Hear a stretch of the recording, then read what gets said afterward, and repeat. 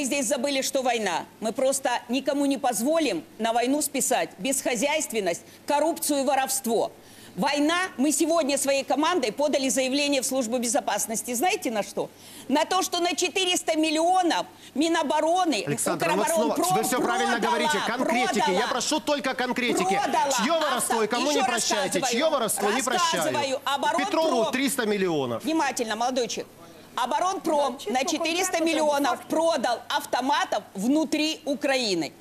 Это значит, продавали родителям, которые давали своим детям в АТО. Это преступление, и никакой войной это покрыть нельзя, так?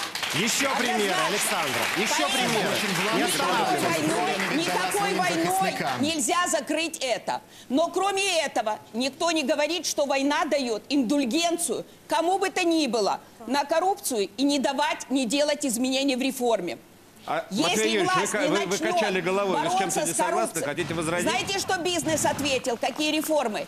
Э, Евгений, Да. что бизнес ответил? Точно так же на сайте. Какие бизнес считает нужно провести Какие? реформы? Это те, кто платит налоги.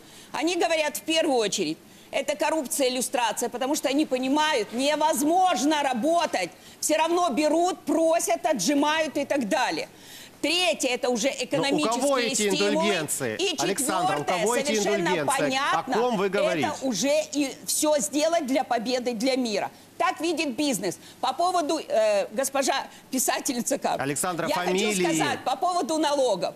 Когда я стала автором, я автор единого налога, Вы 15 который лет- действует в Украине, такого налога нигде в мире нет, который создал средний класс, у нас есть система.